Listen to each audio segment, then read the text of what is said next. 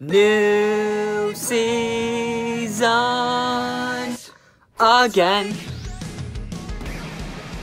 Who's this Hasbro guy? It's Renzo, right up. Protagonists unite a gadget under the mask of female lead. Hopefully diversity. Flash, yell, fight. Succeed, yellow, green, dark blue, red, and copying. Avatar, just this one. New character. It's DB. Part 2.